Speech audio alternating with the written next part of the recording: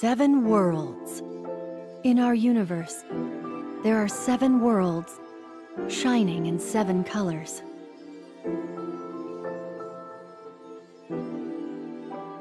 Yellow, shining sun world. Orange, glowing moon world. Red, vivid fire world. Indigo, frosted water world. Green, tropical tree world. Blue, advanced metal world. Violet, earth and soil world. These worlds exist and act independent of one another. This has allowed them to develop and nurture unique cultures. And now, we've received a decree from the magnanimous Chou-Chou.